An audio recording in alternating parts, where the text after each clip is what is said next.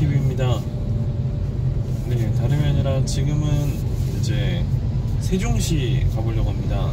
세종특별시에 어, 가볼 일이 있어서 근데 지금 이제 이 도로가 엄청 막히는 도로긴 해요.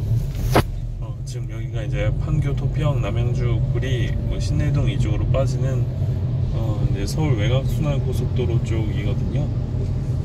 이제 이쪽에서 뭐 잠실로도 갈 수 있고 강남 쪽으로도 갈 수 있고 이제 그 중간 지점이긴 한데 지금 벨로스터. N을 가지고서 일상적인 어떤 주행을 어, 하면 과연 얼마나 힘이 들지 그리고 궁금해하시는 분들이 많아서 어, 일단은 좀 담아보려고 지금 찍고 있습니다. 어, 일단은 지금 이렇게 막힐 때는요 거의 1단 또는 이제 2단 거의 1단만 사용해도 상관이 없어요. 그리고 이제 정말 막힐 때는 이제 클러치가 어, 충분히 충분히 힘을 내주기 때문에 생각보다 어렵지는 약 않습니다. 1km 진짜 좀 신경을 써야 되긴 해요. 오른쪽 고속도로 출구로 주행하십시오. 어, 만약에 이렇게 지금은 평지에서 지금 이렇게 어, 있어서 그나마 다행인데 평지에서는 그나마 다행인데 이게 언덕이 만약에 있고 이렇게 계속 오르락 내리락 하게 되면 처음 수동하시는 분들 뭐 저같이 어, 그럼 생각보다 힘듭니다 시동이 한번 이렇게 꺼질 수도 있고 어, 이 차 같은 경우는 경사로 밀림 방지 기능이 들어가 있어요 그런데 그, 그 조건이 작동 조건이 생각보다 경사가 높아야 된다고 어, 합니다 그러다 보니까 어, 어느 정도 조금 높지 않은 곳에서는 작동이 안 될 때가 있어요. 그래서 뒤로 이렇게 밀리는 것을 봅니다. 뒤로 밀리는 느낌일 때는 클러치하고 악셀하고 그 반응을 좀 얼른 다르게 해줘야 되는데 영업소에 문의하십시오. 그렇지 이제 못하는 상황이 오는 거죠. 지금 같은 경우는 거의 10에서 20으로 하다 보니까 왼발로 클러치를 계속 이제 조작을 해주고 어 그리고 1단 또는 2단으로 이제 그 조절을 해주면 됩니다. 지금은 custom 모드로 제가 이제 저는 수월하게 운전하기 위해서 바꿔놨기 때문에 어 그 이때는 지금 1, 2단으로도 충분해요. 그리고 클러치 조작만으로도 또 악셀의 자그마한 반응만으로도 뭐 이렇게 잠시 막히는 후 구간에도 오른쪽 고속도로. 출구로 주행하십시오. 이어서 왼쪽 방향입니다.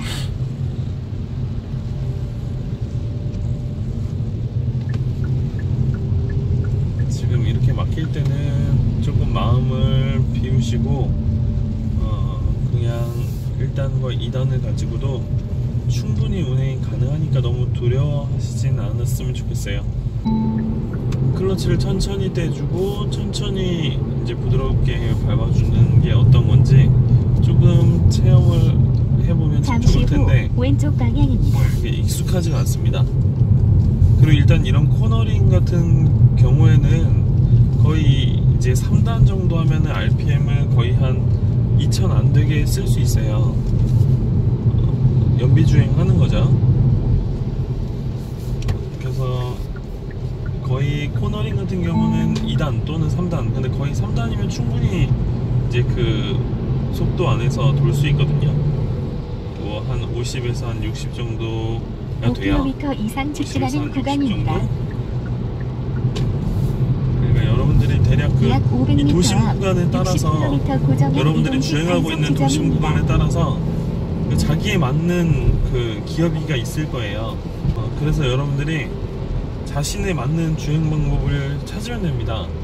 어, 어느 도로에서는 지금 이제 차가 많으니까 한 몇 단으로 그리고 이제 어느 도로에서는 조금 이제 어느 정도의 규칙을 만들어 놓으면 그 daily car 일상. 출퇴근하는 분들은 충분히 재밌게 타실 수 있는 거죠. 출퇴근할 때는 거의 고정되잖아요. 어느 가는 도로들과 그다음에 뭐 이제 그 시간대가 거의 고정되다 보니까 아 지금 이 시간대는 어 뭐 차가 어느 정도 있구나. 뭐 이제 그러면은 이제 뭐 1단, 2단으로도 충분하겠구나. 뭐 이렇게 3단으로도 코너링 가능하겠구나. 이런 기어비들을 여- 그 각자의 나름대로 좀 맞춰주시면 아무래도 차에 좀 무리가 훨씬 덜할 거예요. 이 차 같은 경우 이제 어느 정도 클러치 반응도 꽤 빠른 편이고 rev matching도 켜져 있기 때문에 어느 정도 어, 단수 올리고 내리고 할 때마다 어느 정도 보정이 되어줘서 수동의 엄청난 어려움 뭐 이제 이런 거는 잘 못 느껴요. 좀 부담감 때문에 그렇죠. 이제 특히 갑자기 저속으로 갑자기 줄어들어서 코너를 갑자기 진입해야 될 때 이런 때 같은 경우 이제 막 클러치도 밟아야 되고 2단 막 3단에서 2단으로 내려가고 이제 거기서 이제 1단으로 변해야 되고 막 이러다 보니까 이제 온갖 신경을 다 쓰는데 마침 거기 신호등이 있다. 이제 이러면 이제 더 이제 뭐 머리가 복잡해지는 거죠. 그런 연습들을 해 나가야지 조금 자연스러운 것 같아요. 이제 수동 연습에 수동 운전에 대해서 그러다 보면 이 차가 아, DCT 한번 생각해 보시면 그 자동 미션 생각해 보시면 1단 어느 정도 속도에서 1단에서 2단, 2단에서 3단 이 퍼포먼스가 바뀌는지를 조금 잘 보시고 아 이 정도 속도에서 이 어, 차가 이렇게 바뀌었었구나라는 것을 좀 알고 이렇게 조금 이 벨로스터 M만의 어, 기어비를 만들면 이렇게 조합을 하면 되게 좋을 겁니다. 어느 정도 속도가 갔을 때 지금 이제 60에서 70이에요. 그러면은 3단으로도 충분해요. 근데 서킷이나 이런 데 가보면 3단 또는 4단으로도 그 힘을 다 낼 수 있기 때문에 5km 어, 이상 직진하는 충분하거든요. 구간입니다. 그럼 3단에서 100km까지도 되게 충분히 쓸 수 있는데 대신에 그렇게 되면 고RPM을 계속 쓴단 말이에요. 근데 이 도심에서는 이런 고RPM을 쓸 필요가 없단 말이에요. 그러다 보니까 이렇게 3단에 4단으로만 내려도 3,000, 4,000 있던 게 2,000으로 내려오는 거죠. 그럼 이제 아무래도 연비 운전하는 데 있어서는 훨씬 수월한 거죠. 그러니까 여러분들이 이제 이걸 보셔야 되는 거예요.